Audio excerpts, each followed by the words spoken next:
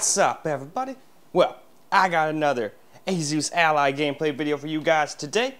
And today, we're gonna have a look at Baldur's Gate 3 and Act 3. Now, this game is not easy to run in Act 3 at all.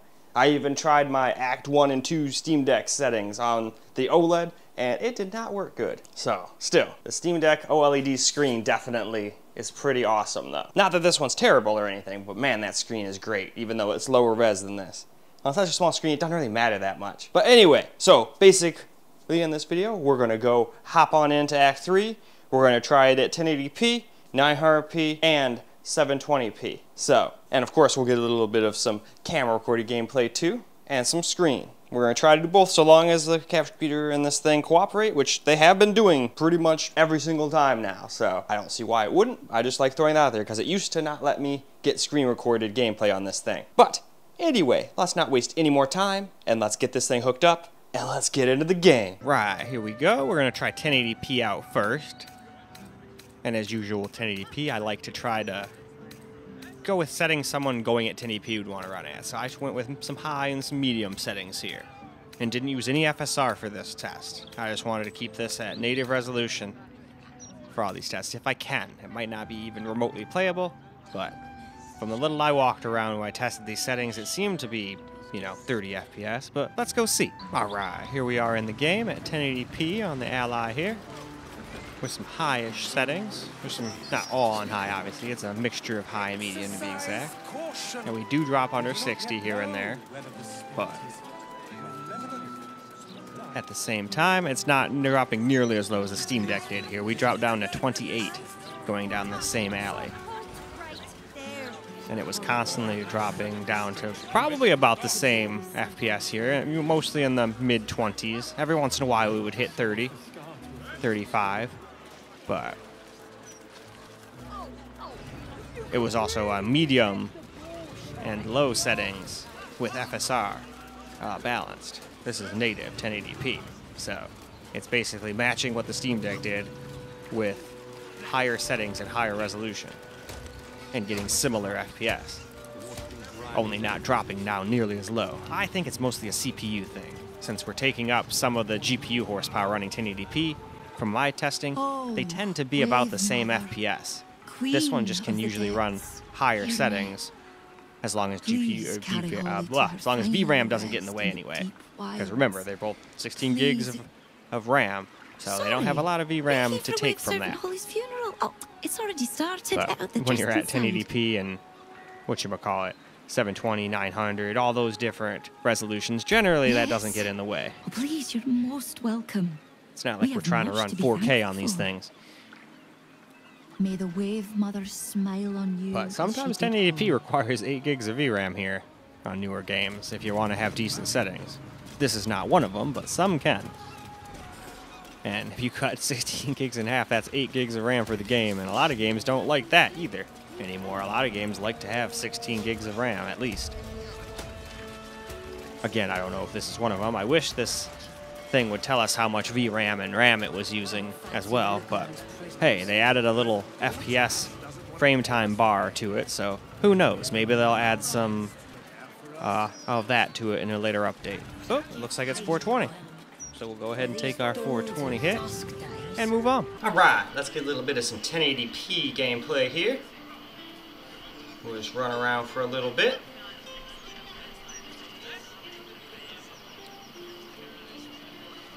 Unfortunately, 1080p doesn't quite get us 30 all the time.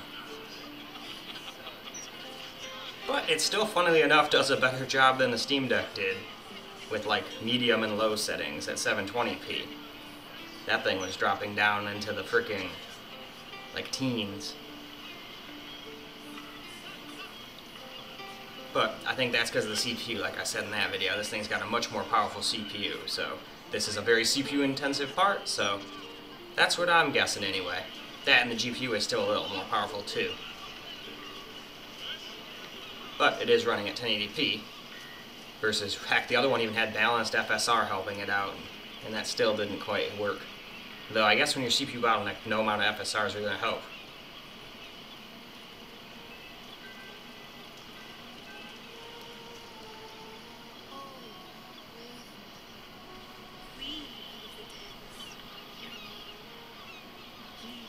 kind of funny how the like textures take a second to pop in. But truth be told, that happens on like everything. Even my main computer takes like a millisecond for that to kick in. That's just part of the game. Game's still awesome though. I've had a lot of fun with it. Yes. Please, you're most welcome. We have much to be thankful for. May the wave mother smile on you she did. Alright.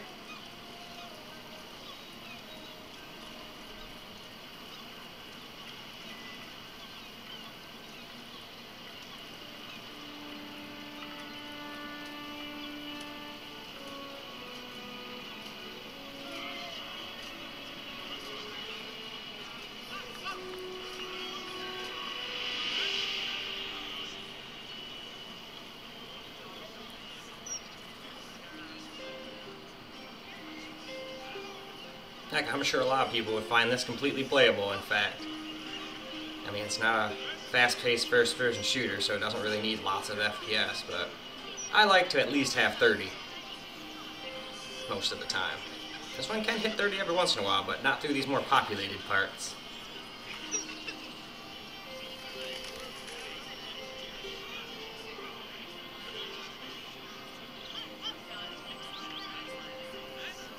Anyway, though, it's time for us to go move on to 900p now. Now for some 900p.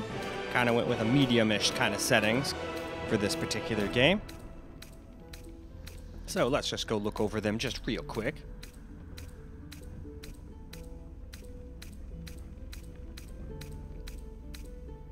And there we are. We've just reached the bottom. So let's go see how 900p with medium settings fares at this game in Act 3. Alright, here we are at 900p. Medium settings. So let's go see what kind of frame rate we get. We still do drop under 30 every once in a while, but it seems to be like a more 30 to mid 30 FPS experience now.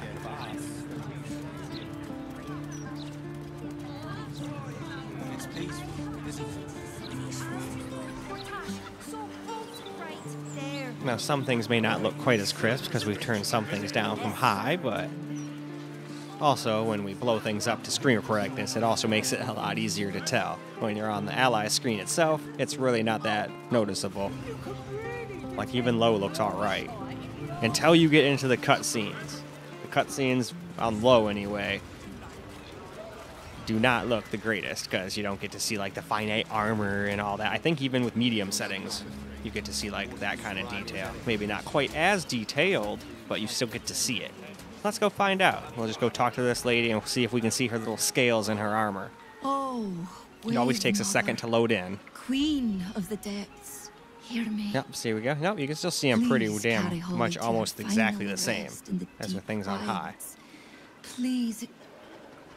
Please. They might just be slightly less for Wave digni- Servant or Holly's defined. funeral. Oh, it's already but, started. I mean, I'm really inside. nitpicking, and I'm sitting here watching myself play. You know, being able to sit there and notice these little things. If I'm just playing, All paying attention to come like and celebrate the life what's being said in the servant. subtitles and whatnot, the wave mother or listening, or just whatnot, Holly. I'm not going to pay attention to that. That's just me, though. Maybe some people just don't read the subtitles and just listen to the people. I listen to the whole conversation, but usually I just read the subtitle real quick and click next. I don't generally listen to them say the whole speech. And most games, some games I will not do that in. Like I just got done beating uh, NieR Automata just last night, and man, that was fun. Although I think there might be one ending I might not have gotten. I got three different endings, so I shouldn't say I beat all of the game, but I got quite a few endings of it.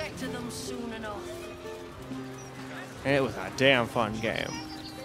It's peaceful, isn't it? Now after beating that, I don't think I don't know if I'm gonna like that uh, NieR Replicant as much, even though it's got more like magic, which I'm more accustomed to as I'm a mage in this kind of game, and I love this game. This game definitely deserved Game of the Year, at least in my opinion.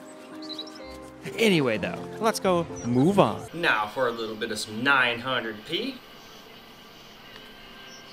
with medium settings.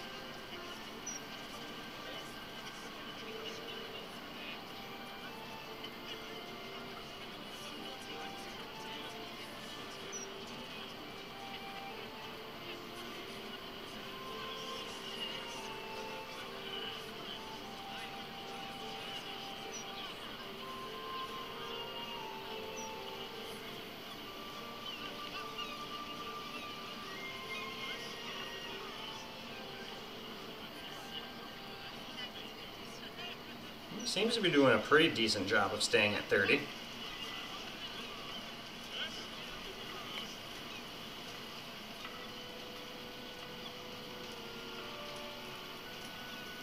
I keep bleeding trails of blood.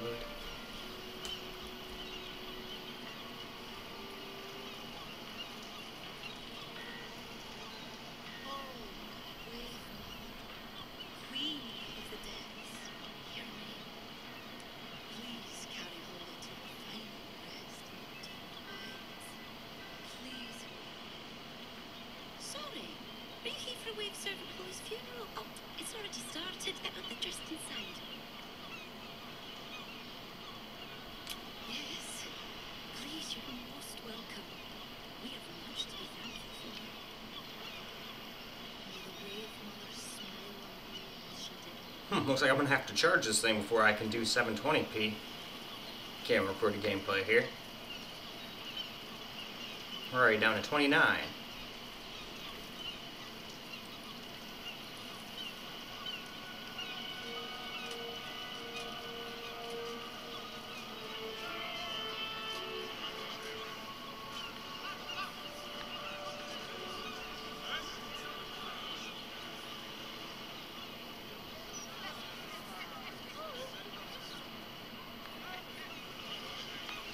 But whatever, it's not like this thing takes long to charge and it's not like I need 100% battery. I'll just let it charge up to like 45, 50% or something like that. And then finish up. That'll probably take like 15, 20 minutes tops. Probably not even that long, honestly. Probably like 5, 10 minutes. This thing charges pretty damn fast.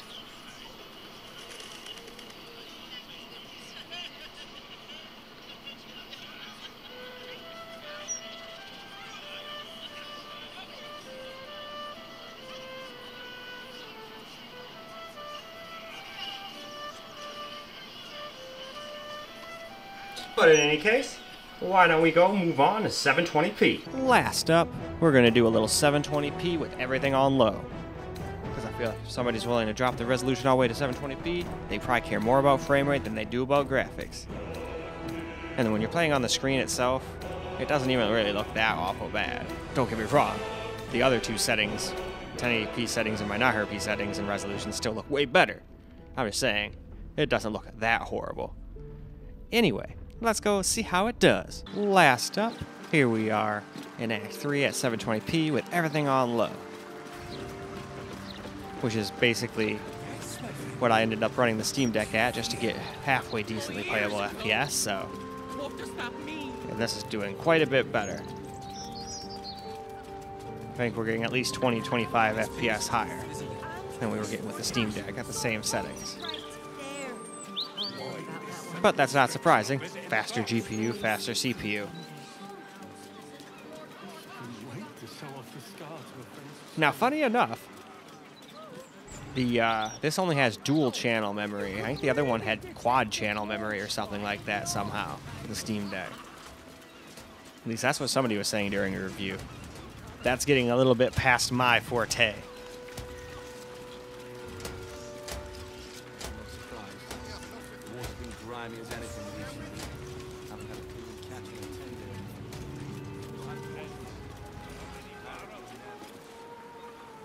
Oh, Wave Mother.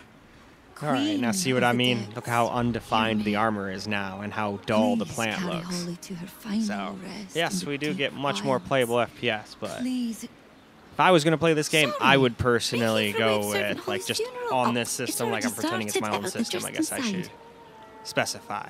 Uh, I would go with the 900p Yes. settings I ran. oh, please, you're most welcome.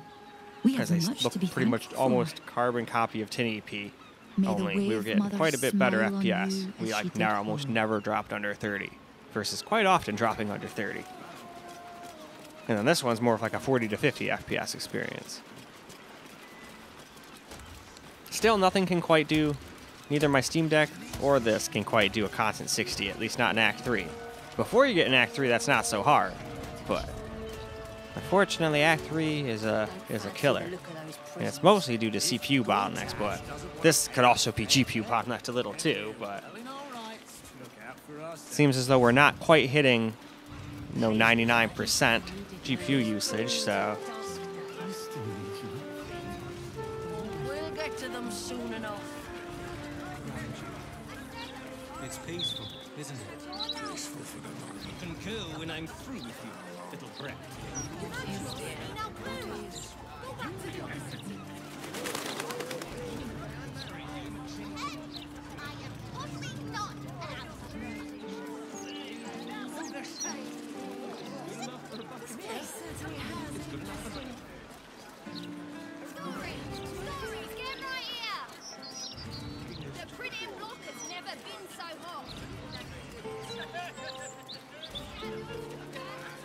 But in any case, I think it's about time for us to move on to camera. Now for a little bit of some camera recorded gameplay here. Have some 720p with everything on low.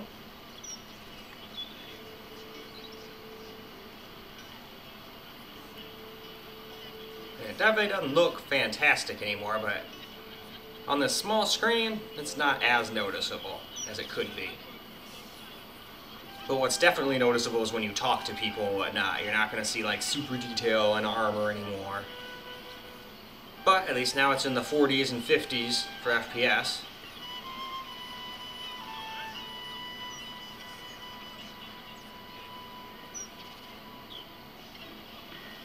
So this is basically just for people that care more about FPS than anything. But like I said before, in this kind of game, I'd rather have some eye candy. So if I was going to play this, I'd probably do the 900p option right in the middle. Sure, it still dropped under 30 every once in a while, but it was mostly like 35 to 30, like 8, it seemed. But yeah, you're not going to be able to see like detail in the plant leaves as much, and you can't really see the super finite details in her armor anymore. But such is low. And I've definitely seen games that look a lot worse than this on low, so. Is that what that singing is?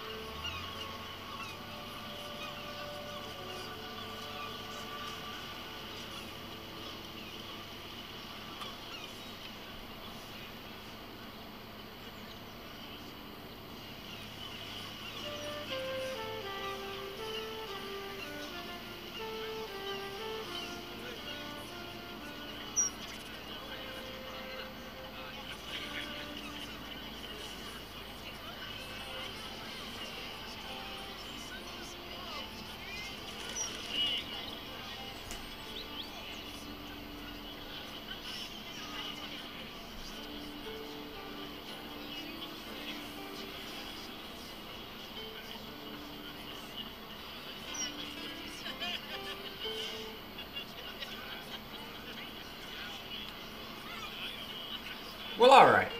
I think that's plenty of camera recorded gameplay. So, now we can go ahead and go wrap this video on up. Well, alright, guys. That is a wrap for Baldur's Gate 3 and Act 3 with all the updates and whatnot on the Asus Ally. And it didn't do the greatest at, you know, 1080p and whatnot. We dropped under 30, and even 900p dropped under 30 every once in a while. 720p did fine with everything on low, but I mean, with all of those options combined, I'm sure people can find what works for them with this game on this system. I mean, there's probably people that are completely fine with the way even 1080p was playing. I mean, there are people that enjoy the hell out of the Switch, and that thing drops under freaking 20 FPS in a bunch of games. And everyone still seems to have fun. The more technical people like me that, you know, know about this stuff call that shit out, but most normal people, they don't care. They just go in the game and they play. So, anyway, that is all I got for you guys for this particular video. I hope you guys enjoyed the video, because I sure as hell enjoyed making it for you guys. And until the next video, peace out, guys.